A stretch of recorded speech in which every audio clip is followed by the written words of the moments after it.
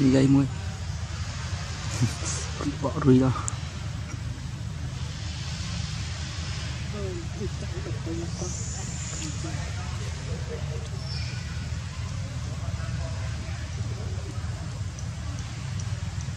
Dạ, tôi cứ ép việc gì là hết ăn chung quân chung xuân